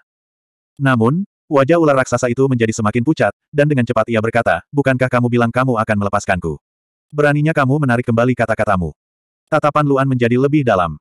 Dia akhirnya menarik napas ringan dan memandangi ular raksasa itu, sambil berkata, aku bilang aku akan membiarkanmu pergi dengan selamat, tapi aku tidak mengatakan kapan. Saat dia berbicara, Luan mengeluarkan ramuan dari cincinnya dan melemparkannya ke ular raksasa itu, sambil berkata, makanlah. Tubuh ular raksasa itu bergetar, dan dengan cepat ia bertanya, apa ini? Racun, kata Luan. Tubuh ular raksasa itu bergetar, bahkan tangannya pun gemetar. Ia bertanya dengan keras, kamu masih ingin membunuhku. Jika aku ingin membunuhmu, mengapa aku menyia-nyiakan racun? Luan berkata dengan tenang, jangan khawatir, racun itu hanya akan bertahan di tubuhmu selama setengah bulan. Setelah itu, akan hilang. Kemudian, Luan dengan cepat membentuk formasi di sekitar ular raksasa itu, tapi sebenarnya ada empat lapisan. Karena formasinya diameternya kurang dari 10 kaki, ukurannya sangat kecil, dan butuh banyak waktu untuk memasangnya. Setelah mengaturnya, Luan terus berbicara kepada ular raksasa itu, setelah kamu mengkonsumsi racunnya, racun itu akan segera masuk ke meridian jantungmu. Namun, susunan ini akan membantumu menekan racun dan mencegahnya memasuki meridian jantungmu. Jika kamu keluar dari formasi ini, racun akan langsung masuk ke dalam hatimu, dan kamu pasti akan mati dalam 10 tarikan nafas. Ular raksasa itu memandang manusia muda di depannya dengan mata penuh keterkejutan. Benar-benar tidak menyangka dia akan membuat rencana seperti itu. Inilah satu-satunya kesempatanmu untuk hidup, kata Luan. Apakah kamu menerimanya atau tidak, itu terserah kamu. Mendengar perkataan Luan, ular raksasa itu melihat pil di tangannya. Akhirnya, ia mengertakkan gigi, mengangkat tangannya, dan menelan pilnya. Racun itu dengan cepat masuk ke tubuhnya dan meleleh di perutnya. Melalui pembuluh darah di perutnya, ia mengalir langsung ke jantungnya. Pada saat ini, Luan melepaskan kekuatannya dan meningkatkan formasi susunan di sekitarnya. Weng! Lampu hijau menyala dan menyelimuti seluruh tubuh ular raksasa itu. Dari permukaan tubuhnya terlihat jelas bahwa pembuluh darah dari perut hingga jantungnya telah berubah warna menjadi hitam keunguan. Mereka dengan putus asa melonjak menuju jantungnya, dan hanya berjarak beberapa milimeter dari jantungnya. Di bawah tekanan cahaya formasi susunan, racunnya tidak terus menyebar.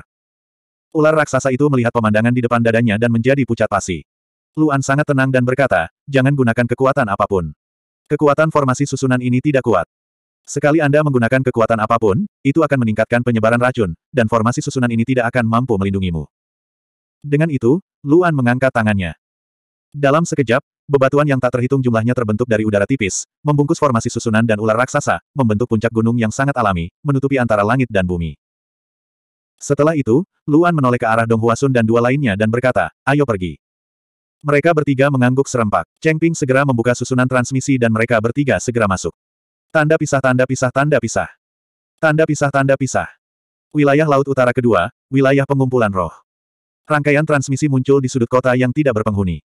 Cahaya tersebut terhalang oleh bangunan di sekitarnya dan tidak memancarkan cahaya apa pun. Kemudian, Luan dan tiga orang lainnya keluar satu demi satu.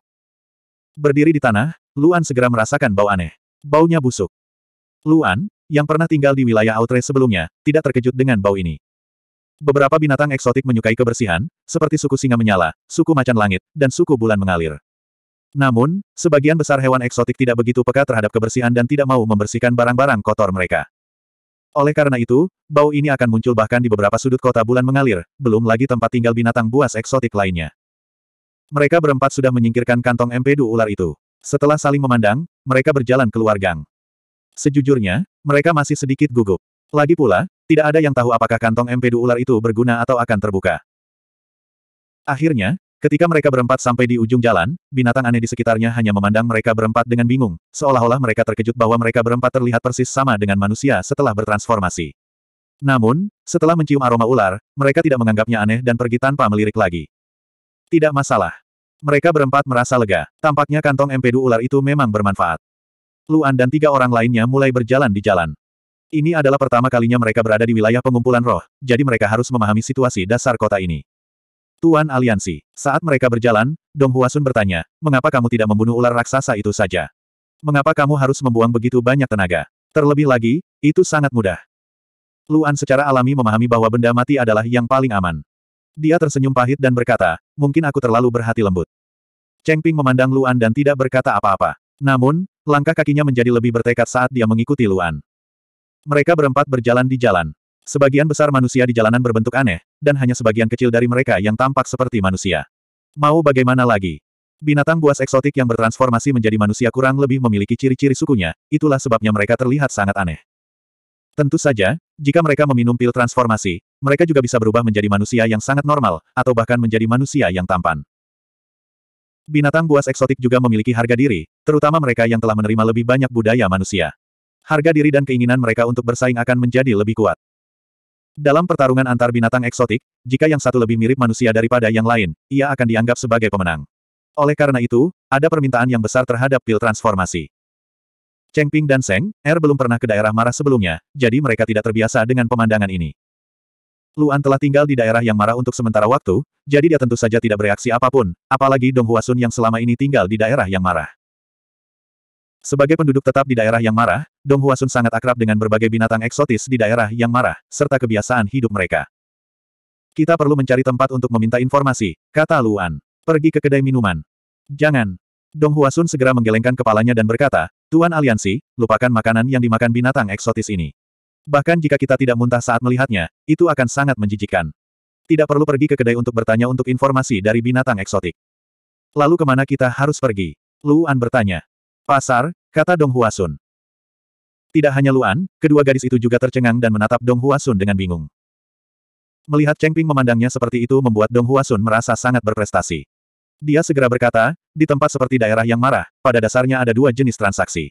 Jenis pertama dianggap sebagai transaksi resmi. Binatang-binatang eksotik itu akan menjual barang-barangnya kepada para pejabat. Tentu saja harganya tidak akan mahal dan akan sedikit lebih rendah dari nilai sebenarnya.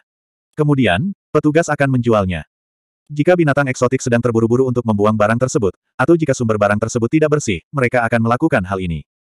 Jenis transaksi kedua adalah pasar. Dong Huasun melanjutkan, setiap kota di wilayah yang marah akan memiliki pasar yang sangat besar. Setiap binatang eksotis dapat mendirikan kios di sana. Mereka dapat memutuskan apa yang ingin mereka jual dan berapa harga yang ingin mereka jual. Lagi pula, apakah itu adalah daerah yang marah atau daerah pengumpulan roh, arti terbesarnya adalah binatang-binatang eksotik mempunyai tempat untuk berkomunikasi dan berdagang satu sama lain. Itu sebabnya ini adalah tempat yang paling ramai. Saat dia mengatakan itu, Dong Huasun terdiam dan berkata, di pasar, ada beberapa binatang eksotik yang menghususkan diri dalam menjual informasi. Mereka mungkin mengetahui keberadaan barang yang kita cari.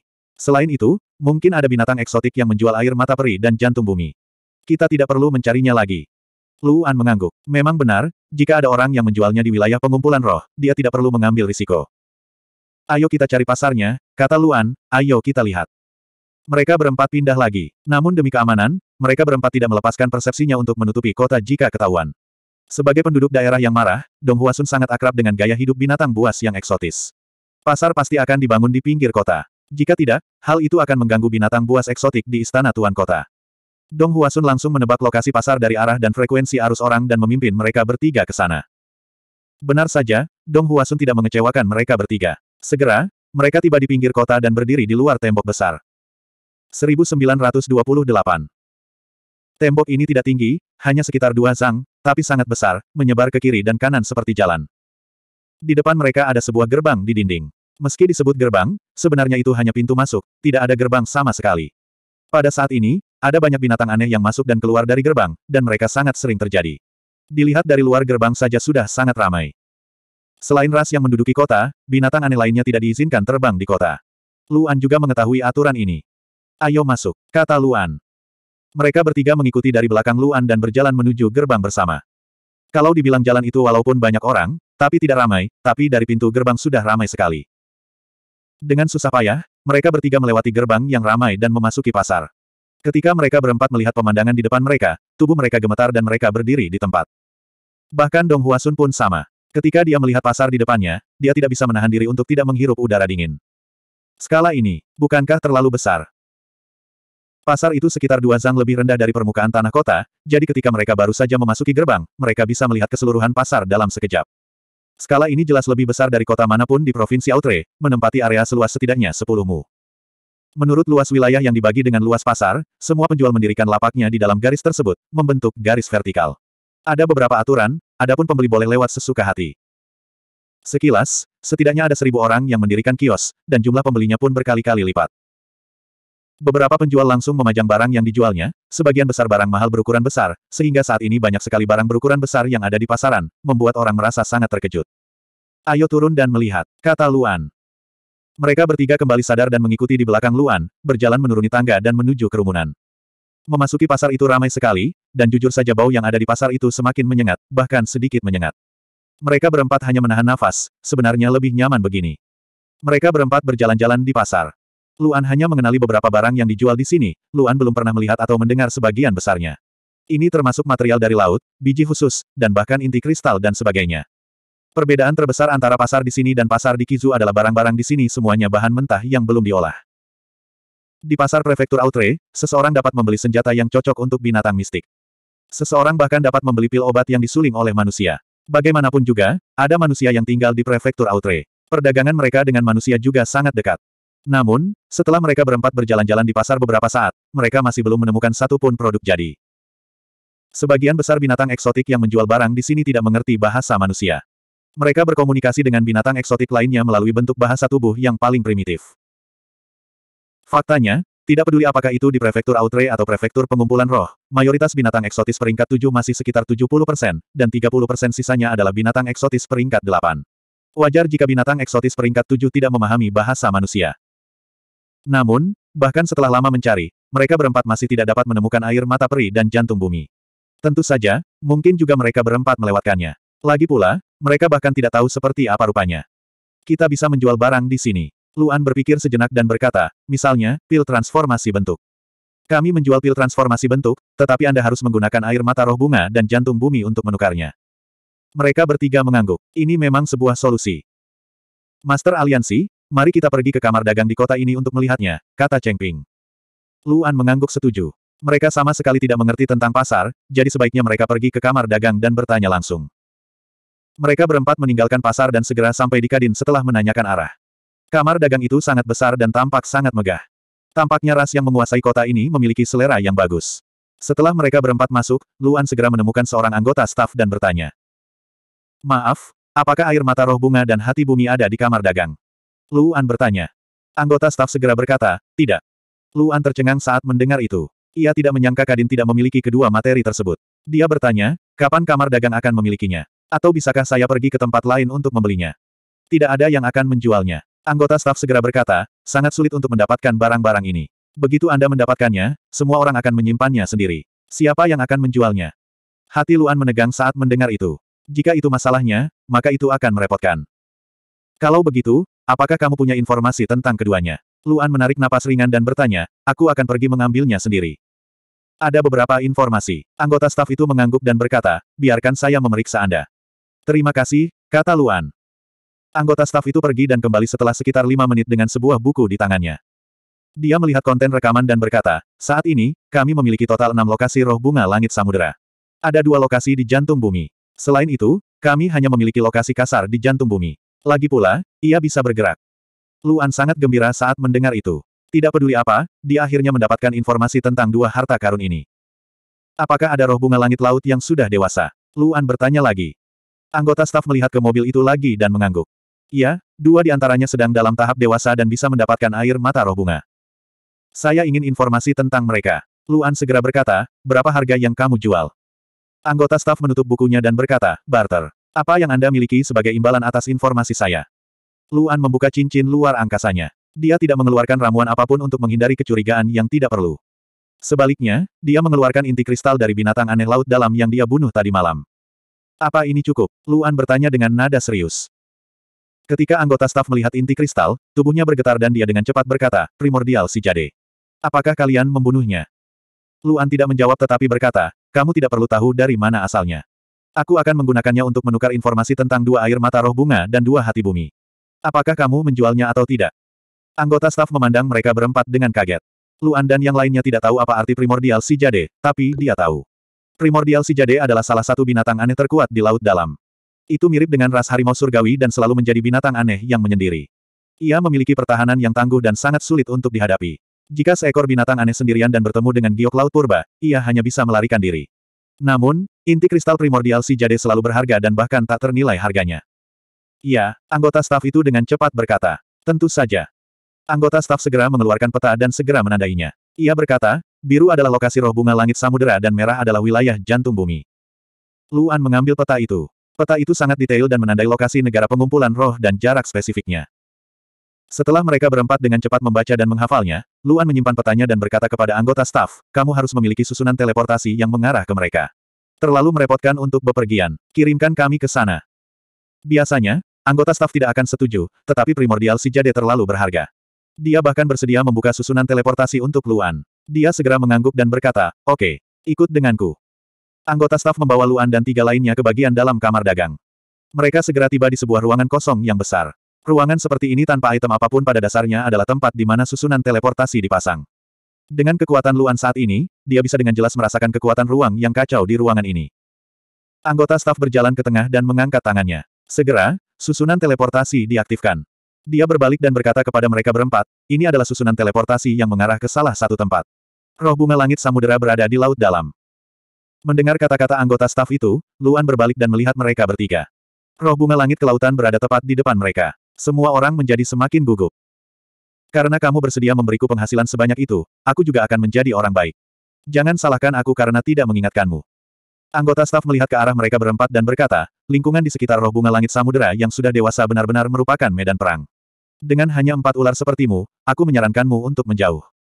Mendengar kata-kata anggota staf itu, mata Luan menyipit. Tanpa berkata apa-apa, dia langsung melangkah ke susunan teleportasi. Sosok Luan menghilang, menyebabkan tiga orang di belakangnya gemetar. Mereka bertiga saling memandang. Tanpa ragu-ragu, mereka segera mengikuti Luan dan memasuki susunan teleportasi. 1929. Di laut dalam laut utara kedua. Lingkaran sihir transmisi muncul di atas laut, dan Luan serta tiga orang lainnya keluar dari sana satu demi satu. Jaraknya hanya kurang dari seratus kaki dari laut. Lingkaran sihir pemancar di belakang mereka menghilang. Melihat laut di bawah kaki mereka, mereka berempat merasa berat hati. Selanjutnya, mereka akan menghadapi krisis besar, yang kemungkinan besar akan berakibat fatal. Tidak ada yang tidak takut mati, tapi setidaknya mereka berempat takut akan kematian. Mereka berempat telah memasang lingkaran sihir transmisi di atas laut, sehingga mereka bisa melarikan diri kapan saja jika terjadi krisis yang fatal. Kemudian, Luan melihat ke arah mereka bertiga dan berkata dengan suara serius, roh bunga langit laut mempunyai masa kedewasaan selama satu bulan. Sekarang laut begitu tenang, kemungkinan besar ia telah melalui pertempuran dan berada di bawah kendali beberapa binatang aneh. Bagaimanapun, kita harus berhati-hati dan tidak berpisah.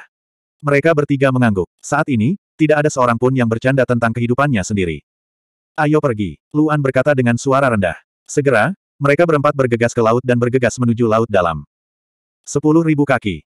Dua puluh ribu kaki. Tiga puluh ribu kaki.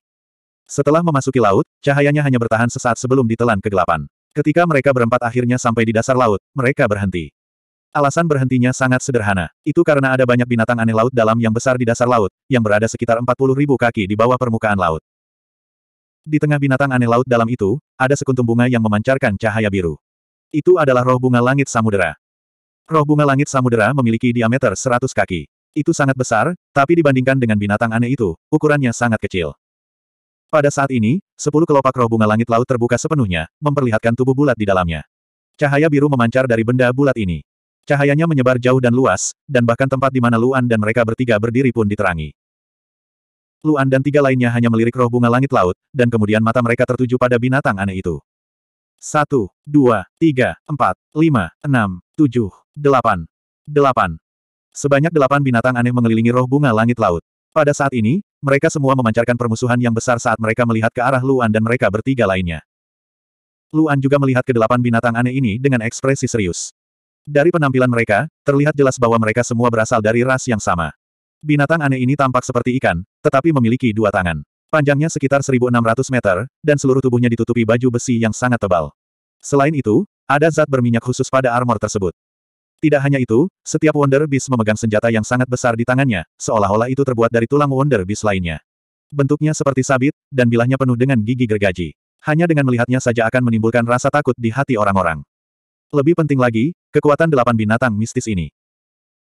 Masing-masing dari delapan binatang aneh ini memiliki kekuatan di atas Orde ke-8 pertengahan, dan tiga di antaranya bahkan berada di sekitar Orde ke-8 akhir. Perlu dicatat bahwa ada kesenjangan antara guru Tao dan binatang eksotis pada tingkat yang sama. Ini adalah fakta yang tidak dapat diubah antar spesies. Untungnya manusia punya lebih banyak jurus, terutama Dong Huasun. Dengan Fate Wheel tingkat atas, dia tidak dirugikan. Dia bahkan mungkin punya beberapa kelebihan.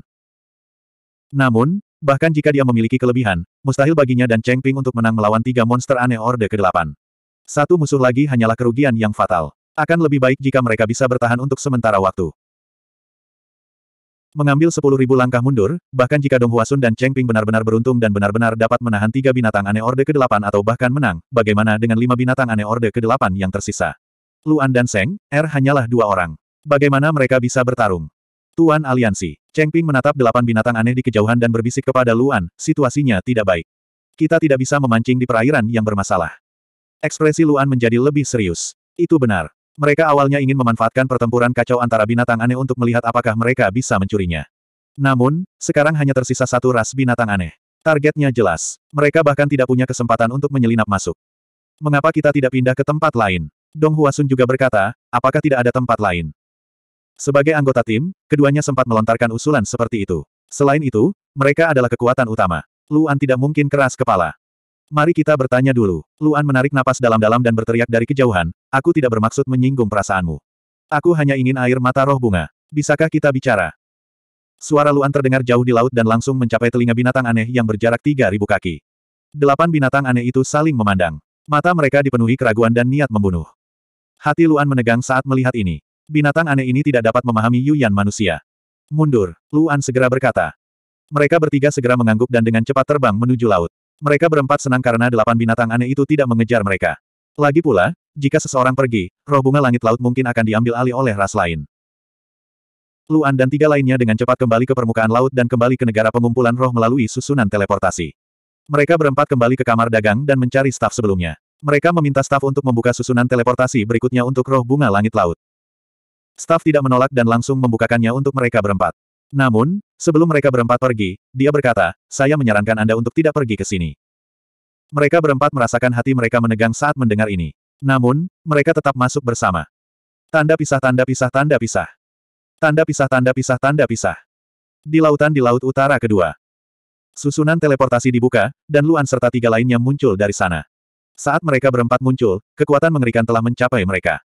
Mereka berempat bahkan tidak sempat bereaksi. Perlu diketahui bahwa mereka tidak dapat menggunakan kekuatan mereka saat melewati susunan teleportasi. Jika tidak, kemungkinan besar mereka akan menghancurkan koneksi susunan teleportasi. Oleh karena itu, mereka berempat sama sekali tidak berdaya. Mereka semua tercengang. Gemuruh. Mereka berempat segera dikirim terbang menuju langit yang jauh. Luan segera mengeluarkan seteguk darah. Dia mencoba yang terbaik untuk mengendalikan tubuhnya. Gemuruh. Ledakan mengerikan itu tidak berhenti. Luan langsung terlempar 40 ribu kaki ke langit karena serangan tadi. Dia berdiri di langit dan memandangi laut di bawah. Dia hanya bisa terkesiap. Dia salah. Pertarungan kacau yang dia bayangkan benar-benar berbeda dari pertarungan kacau yang sebenarnya di dunia nyata. Laut dalam radius ratusan mil benar-benar mengalami ledakan dahsyat saat ini. Permukaan laut telah turun setidaknya 20 ribu kaki karena ledakan yang tak terhitung jumlahnya. Lebih penting lagi, agar tidak melukai roh bunga laut, binatang aneh itu memilih untuk bertarung di dekat permukaan laut. Oleh karena itu, Luan dan tiga lainnya terkena serangan segera setelah mereka muncul. Mereka berempat telah membantu binatang aneh lainnya untuk menerima serangan, tapi mereka terluka karena kecelakaan.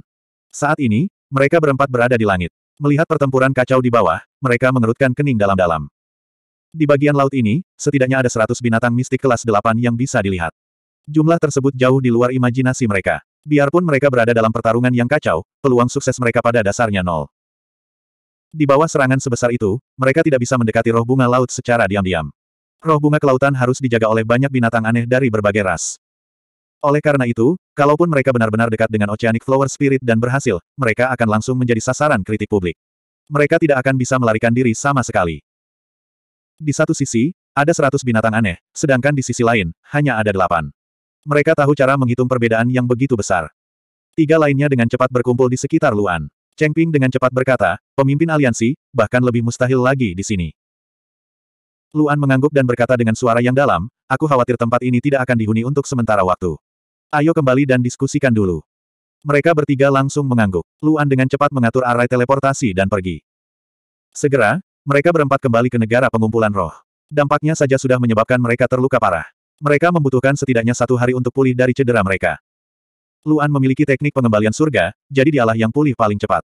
Segera, langit berangsur-angsur menjadi gelap. Tiga lainnya hampir pulih dari lukanya setelah beristirahat. Mereka akan pulih sepenuhnya sebelum fajar besok. Mereka berempat duduk bersama dan mendiskusikan apa yang harus dilakukan. Negara pengumpulan roh pasti memiliki lebih banyak informasi daripada kita. Luan berkata dengan serius, kemungkinan kita menemukan informasi tentang roh bunga laut yang bahkan tidak dimiliki oleh negara pengumpul roh sangatlah rendah. Pada dasarnya tidak mungkin. Mereka berempat mengangguk. Memang sangat tidak realistis. Lagi pula, mereka tidak bisa hanya mengandalkan keberuntungan saja. Ini akan membuang-buang waktu saja. Dua tempat. Kita harus memilih satu, kata Luan, apakah kita memilih yang pertama atau kedua? Tentu saja yang kedua harus menunggu hingga pertempuran selesai sebelum kita mengambil tindakan. Jika tidak, kita hanya akan mendekati kematian. Mereka bertiga saling memandang, dan alis mereka penuh konflik. Akhirnya, setelah 10 menit, Cheng Ping menjadi orang pertama yang berbicara. Jumlah monster aneh yang tersisa setelah pertarungan di tempat kedua belum tentu sedikit. Terlebih lagi, monster aneh yang kalah mungkin mengawasi kita dengan iri dan kembali kapan saja. Cheng Ping menarik napas dalam-dalam dan berkata dengan suara serius, saya memilih tempat pertama. 1930. Setelah Cheng Ping berbicara, Dong Huasun juga mengangguk. Dia memandang Luan dan berkata dengan suara yang dalam, saya juga memilih opsi pertama. Senger adalah seorang pemula di lautan dan pertempuran. Dia tidak keberatan. Dia akan pergi ke mana pun yang dipilih orang lain. Mendengar perkataan Dong Huasun dan Cheng Ping, Luan berdiri dan berkata, selamat istirahat malam ini. Besok pagi, kita akan berangkat ke tempat pertama. Dengan itu, Luan mengeluarkan ramuan dari cincinnya dan memberikan satu kepada mereka masing-masing. Dia berkata dengan serius, ramuan ini dapat menyelamatkan hidup Anda di saat kritis. Setelah meminum obat mujarab, mereka bertiga merasa berat hati. Namun, karena mereka telah mengambil keputusan, tidak ada satupun dari mereka yang ragu. Mereka mulai bermeditasi dan memulihkan diri, bersiap untuk pertempuran keesokan harinya. Tanda pisah tanda pisah tanda pisah. Tanda pisah tanda pisah. Pagi selanjutnya. Langit sangat cerah. Kota kembali berisik. Setelah istirahat semalam, mereka berempat membuka mata. Mereka saling memandang dengan berat hati. Luan mengaktifkan formasi teleportasi. Mereka berempat masuk dan sampai ke sisi lain formasi teleportasi. Laut masih tenang. Namun, semakin tenang suasananya, semakin berat hati mereka. Luan menarik napas dan berkata pada mereka bertiga, jangan lupakan rencana yang kita buat tadi malam. Mereka bertiga gemetar dan mengangguk sekaligus. Mereka teringat perkataan Luan tadi malam. Empat lawan delapan. Jumlah lawan kita hanya setengah. Kita harus menyelesaikan pertempuran secepat mungkin. Kalau tidak, kita akan dirugikan. Tadi malam, Luan duduk di kamar kumuh dan berkata kepada mereka bertiga di bawah sinar bulan. Dong Huasun, Cheng Ping, dan Senger mendengarkan Luan dengan cermat. Meskipun Luan lebih lemah dari mereka, mereka sangat menyadari kemampuan tempur Luan yang sebenarnya. Jika Luan berada di level yang sama dengan mereka, bahkan jika Luan tidak memiliki roda takdir terhebat, mereka tidak akan mampu mengalahkannya. Satu-satunya keuntungan yang kami miliki adalah ukuran kami. Luan berkata dengan suara yang dalam, mereka terlalu besar dan gerakan mereka terlalu kuat. Selama kita berempat tidak berpisah, kita bisa memperlakukan mereka sebagai satu kesatuan. Kita bisa memanfaatkan ukuran tubuh kita untuk bertarung satu lawan satu atau satu lawan dua. Dengan cara ini, keuntungan kita akan terlihat jelas. Secara keseluruhan, rencana pertempuran kita adalah mengalahkan mereka satu persatu dan mengakhiri pertempuran secepat mungkin. Luan berkata dengan nada serius, ini adalah tahap pertama pertempuran kita. Kita harus menghadapi setidaknya tiga binatang mistik di tahap ini. Di atas lautan, Ketiga orang itu memikirkan kata-kata Luan, dan Dong Huasun berkata dengan sungguh-sungguh, jangan khawatir, Master Aliansi. Luan mengangguk dan menatap ke laut. Pindah. Ledakan. Mereka berempat langsung bergegas ke dalam air, menimbulkan suara keras. Delapan binatang aneh yang terletak 40 ribu kaki di bawah permukaan laut segera merasakan kehadiran musuh. Tubuh besar mereka gemetar saat mereka melihat ke permukaan laut.